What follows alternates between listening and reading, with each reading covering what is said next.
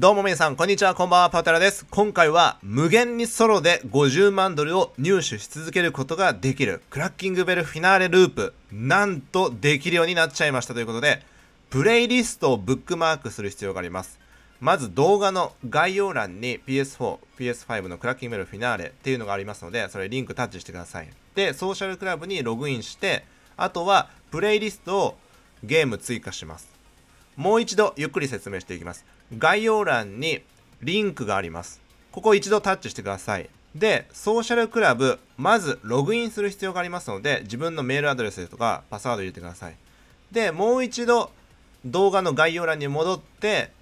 リンクをタッチすると、ログインした状態でこの画面に行きますので、あとはゲームに追加っていうのを押してください。もしくは英語になってる場合は、ブックマークとか、そんな感じになるとは思うんですけども、とりあえずゲームに追加というのをやってから、招待限定セッションとか、まあ、新しいセッションを作ったりして、オプションから、プレイリスト、ブックマーク済み、そして翻訳なしというところから、犯罪の舞台っていう風に表示されるプレイリストを開始してください。なんとこれ、準備なしで、フィナーレだけできるということで、連邦保管庫フィナーレ、ループみたいな感じで、フィナーレだけを何度も何度も繰り返すことができます。ただし、これ、隠密の準備ができていない状態、武器も、まあ、決まったもの、そして逃走車両も勝手に自動で決まったものになりますので、まあ、逃走は若干困難になるかなと思いきや、実はそうでもなくて、まあ、難易度も、イージーとかノーマルで全然できますし、なんなら難易度、まあ、イージーでもノーマルもハードも全部報酬一緒で50万ドル。で、初回ボーナスはプラス25万ドルっていう感じなので、もう全然イージーモードでいいと思います。逃走の車両も何でもいいですし、途中で戦闘機盗むこともできるし、なんと個人車両、仮に車走行とかも途中で呼び出すことができます。なので、すごく簡単に今回ね、まあ追加されたこのヴィンセントのミッション、準備5つ全部すっ飛ばしてフィナーレだけクリアすることができる何度も何度もクールダウンタイムなしで50万ドルを入手できる。初回ボーナスももらえる。そしてこのプレイリスト必ず連邦観光フィナーレの時のように続行っていうのを押してください。これリスタートするとバグってしまって進まなくなると思いますので続行をします。ではここからいよいよ、え、やり方など、え、しっかりと説明していきます。でこれクリアすると準備抜けてますのでティア1とかはもうすっ飛ばした状態でいきなりティア4のリーダーとしてクラッキンベル45分未満でクリアっていうのも達成できちゃうとか、まあ、ちょっとね、おかしな感じになりますし、えちゃんと準備した状態と敵の配置とか若干ね、微妙になんか違う部分ある感じしましたので、まあ、ぜひね、やってみて、あ、ここ違うなとか、これちゃんと準備したパターンと若干違うなっていう部分をあ、えー、発見したらぜひ教えてください。では、前準備なんですけども、も回復アイテム絶対に満タンした方がいいです。スナック、シミオンショップとかで満タンしてください。あと、アーマー、これもね、完璧に満タンにしといてください。で、武器などはもうこれ指定できませんので、もう勝手に決まった武器、ちょっと弱めな武器なんですけども、それでやるしかない。あと、逃走車両も、まあ、勝手に決まったものがガレージに入ってるって感じなんですが、仮に車走行を持ってる人は先に出しておいてください。で、オプションからオンライン、ジョブ、プレイリスト。で、この日本語非対応の中で犯罪の舞台って出るものを開始します。これ CO とか入ってなくても全然、えー、開始できます。で、隠密の準備っていうのがね、完全にできていない状態ですので、もう攻撃的の攻略になります。なので、これ、イージーでいいです。もうイージーもノーマルもハードも、基本的になんでか報酬一緒っぽいので、もうイージーでいきましょう。簡単です。では、えー、ここから実際にプレイをしながら、どんな風に攻略したのか見せていきます。また、ちょっと普段とね、違う部分ですね。ちゃんと準備して攻略した時と若干違う部分なども説明します。とりあえず最初はカバーアクションしながら攻撃して、シャッターの左上のところの赤いのを、ま、打ってまた開けます。なるべくこの、まあ、コンテナというか、この列車の中からある程度倒した方がいいかなと思います。隠れられる状態ですね。ここで一気にすごく削られてしまうっていうこともあり得るので、あとは赤い矢印のとこは常に打っておきながら、えー、その先の扉を開けると。ただしこれ行かなくていいところとかも結構あるんで、この先まっすぐのところとか回復アイテムありますけど、行かなくていいんで、どんどん開けたシャッターの方を進んでいきます。どんどん進めば、実は敵、そんなに強くない感じでしたね。で、ガンガン攻めていきます。これ、どんどん時間をかければかけるほど、同じ敵が何度も同じ場所に復活とかするのでどんどん攻めていきヘッドショット狙うように若干ねスティックを上にして打ったりするといいです。で正面の扉のところで右十字キー連打してます。まあ、キーカードを通して素早く中に入るっていうのをねしたような状態ですね。で最初の倉庫に入ったらここ。まあ赤い点の敵が3ついますけれども、3人いますけど、これ実際敵は1人なので、武器持ってるやつ1人だけ倒せば OK ですね。あとの研究員みたいのは、まあほっといてもいいんで、まあこのまま、えー、粉を回収してください。で、えー、これ普通に準備した時も若干そうだったと思うんですけど、この粉がね、取っても取ってもゲージがちゃんとリアルタイムでちゃんと増えないっていう感じなんですよね。あれなんか全然増えてないじゃんっていう感じで、後からボーンって増えたりするので、まあ、気にせず、まあ緑のね、え、丸いところ、えー、この粉を全部回収するようにします。若干こういった感じでプレイリストでやってるせいなのか、まあアップデート配信されたばっかりだからなのか、若干おかしな点とかラグとかはね、多少あるかなという感じです。ただ一応ね、クリアできますので、えー、このまま続けていきます。で、4つの山を粉、えー、回収していきます。まあ赤い点のね、研究員は別に、えー、倒さなくていいと思うんで、弾の無駄になりますので、このまま放っておきます。で、ここの、えー、部屋を出た時に注意点は、確実に出た瞬間のところに敵が湧くっていうことです。無限に湧くんで、それも厄介な変なとこに湧いたりする場合もあります。いきなり叩いてくる場合あります。右十字キーをしたらいきなり出るんで、とりあえず打ったりとか叩く準備してください。今回なんでか自販機の中いましたね。まあ、ちょわけわかんない状態なんですけど、こういう場合もありますので、これ注意ですね。そうやってる間に裏からめっちゃ撃たれたりします。で、今左側のね、黄色いマーカーのところ、本当は後ろ行きたいんですけれども、とりあえず撃たれるので、倒してください。もうこれもね、どんどん待ってると、どんどん復活してしまったり、振り返るたんびに復活するやつとかいるんで、もうどんどんどんどん攻めていくのがいいです。で、中に入ったら2人倒します。で、こうバールを探すんですが、これ探すというよりも、部屋の中ぐるーっとね、ダッシュしてると、勝手にバール大体取れてます。なので、取った後、この後は、えー、また緑のね、マーカーのところ、右十字キーをしてください。で、この中身を回収していくんですけども、これもまたちょっとバグってるのか、何にもないのに回収したことになってたりとか、たまに黒い筒がね、えー、包みがね、まあ、表示されて回収したことになったりとか、まあ、ちょっとおかしな点なんですけど、とりあえず全部開ければ一応攻略になりますので、え、このまま4箱開けていきます。まあ、一応ゲージもね、若干遅れ気味では、まあ、えー、増えてはいますね。まあ、ここまでで、まあ、スムーズにいけばこんな感じ。スナックとかアーマーはね、常に、え使って回復してください。で、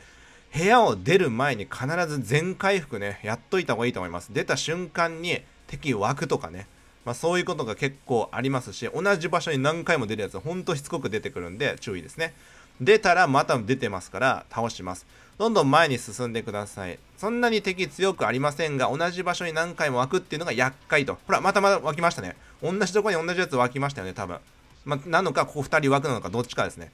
とりあえずとにかく出てくるんで、どんどん攻めて、倒して回復、たまに後ろも振り向く。ただ、後ろ何回も振り向いてると、振り向くたんびに出るやつとかもいるので、まあ、とりあえずどんどん攻めてオフィス行ってください。本来は鍵をね、探したいんですけども、まあ、ゆっくり鍵を見つけるでもいいし、このまま自分でガンガン攻めて、まあ、オフィスの扉、今回攻撃的でバレちゃうパターンなんで、扉をね、ぶっ壊して中に入っちゃうっていうんでもありですね。じゃあ、この中入るときどうすればいいのか、ドアノブ打つだけですね。これで中入れます。で、あとはハッキング装置とかをね、取ればいいんですけど、まあ、ここで例えばですね、これ例えばですからね、一回、周りぐるぐる回ってみます。すると、何度も何度もこれ、同じとこに湧いてるんですよね。まあ、ほぼ固定で同じ場所でちゃんと湧いてるとは思うんですけど、これだと、あの、本当に、キリがないんで、どんどんスナックとか回復アイテムなくなっちゃうので、ぐるぐるせずに、最低限の場所、オフィス行ったら、オフィスでハッキング装置、手に入れてください。ここで右十字キーでハッキング装置手に入れます。で、武器ホイールの上の真ん中のところに出てきますので、これを使ってパソコンがあるとこに近づけばいいんですね。で、こういうの撮ってる間にめっちゃ撃ってくるやつとかしょっちゅういますので、まあこれも気をつけてください。これね、これを持った状態で本当はパソコンに近づくと勝手にハッキングしてくれるんですけれども、まあ、あの、攻撃もしなくちゃならないので、武器をね、切り替えたりもする必要があります。で、このパソコンありますね。こういう前で、これ使ってください。そうすると3分の1とか勝手に出たりします。結構早めにね、えー、なります。パソコンがあるとこ行ってください。とにかく4箇所ぐらいパソコンあるんですけどその近くでハッキング装置をこうやって構える。でこう違う時もあります。順番的に違うもの、まあ、こっちが先でしたっていうパターンですよね。今3分の2いきました。で、3つ目、3分の3どこなんだろうと、またパソコンの近くでこのハッキング装置やります。これね、多分外れでしたね、今回。あ、いいんですね。今の外れじゃないですね。当たりですね。まあ、結構ね、外れなのかなみたいな赤くね、表示されてて、これ方角違うのかなとか思いきや実は当たりで勝手に3分の3になってるとか、全く3分の1、3分の2とかね、表示されず、一気に3分の3までいけちゃってるなんてこともあったりもしますので、まあとにかくね、これスピード持ってこう流行った方がいいですね。あ、今3箇所目のとこね、外れでしたね。最後のところはここですね。で、全部ハッキングが終えると、今度は今の武器のね、ハッキング装置のところに数字が3つ並んでいます。これ覚えてください。分かりづらかったら一人称で確認ですね。で、この数字を覚えて、このまま、えー、オフィスの金庫行きます。で、現金を盗め。ここに数字を打ち込んで決定していきます。08と。で、ここで、えー、19。で、最後の数字入れるんですけど、この間に打たれています。これ打たれているっていうことは、これ、ハッキングというか、この開けた後めちゃくちゃ打たれますので、すぐに応戦するか回復してください。ローリングするとか。で、武器もすぐ切り替える。で、あとは脱出なんですけれども、これ中の敵は全く倒さず、どんどん赤い矢印のとこ打って、外に出て、で、早めに逃走車両のとこ行ってください。これもたもたして戦ってるとどんどん囲まれてしまうので、どんどんどんどんね、逃走車両の方に行きます。一気に走り込んでいけば、隠密と違ってここら辺全然敵がいない状態で、最後ガレージの前のところに、えー、2人いるだけになります。なので、この2人を、まあ、遠目からなるべく撃っといて、で、最後倒していきます。で、ガレージの中に入ってください。ガレージの中に入ったら、もう固定でこの車両だけ用意されてますので、この車両に乗り込んで、で、逃走なんですけれども、あらかじめ個人車両、カリン車走行をミッション始める前に出してたと思うんですよね。それが個人車両として途中から呼び出せるようになります。ただ、この、えー、舞台である場所、クラッキンベル工場付近ではちょっと出なかったりするので、ちょっと離れた状態で要請するといいですね。あんま近づきすぎると、なんか車両がパッと消えることもありましたので、ちょっと離れた状態がおすすめ。で、やっと表示されました。じゃあこれにあとは乗り込むだけっていう感じなんですが、やはりここももたもたしてると、このように囲まれて結構やれられやすい。ということで、ハードモードだと1回やれただけでね、失敗になりますので注意ですね。まあ、プレイリストを使ってやる場合は、イージーモードでいいかなと思います。あとは、物回収してそのまま逃走ですね。今回個人車両をね、要請に2分間かかりますので、ちょっと時間を経ってから、今早送りしてますけど、時間経ってからまた要請して、仮に車走行使えるのはちょっと見せていきます。で、2分経ったので、え、車両要請します。ま、要請した時に、やはり敵に囲まれやすくなるので、まあ、迎え撃つような感じにして、で、あとは仮に車走行、近くに出たらもうこれに乗り込めば、もうほぼ安全にクリアできますね。もうあとは回復ちゃんと知っておきながら、目的地、ヴィンセントのアジトのとこに行き、まあ、大体ここら辺で手配度うまくね、消すこと多分できると思いますので、目的地はここですね。手配度ついてると目的地マーカー消えたりしますので、前もって場所よく確認しといてください。で、手配度が消えたら、このまま、えー、クリアをすると。で、大体どんぐらいですかね。まあ、10分ちょっとぐらい。まあ、15分ぐらいに1回ぐらいはね、えー、できるんじゃないかなと。なので、まあ、50万ドル稼ぐ、金稼ぎとしては、まあ、かなり優秀な方に入ってくるかなと思います。これもね、いつまでできるかわからないし、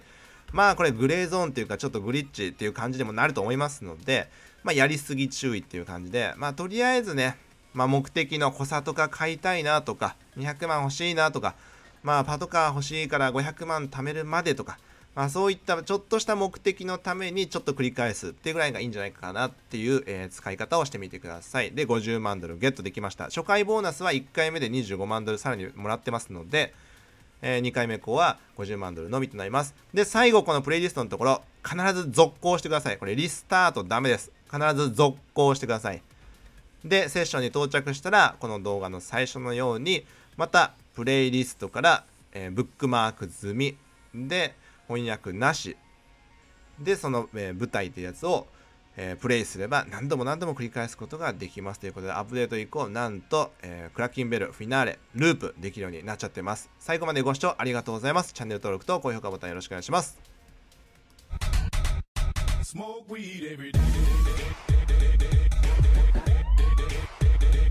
Smoke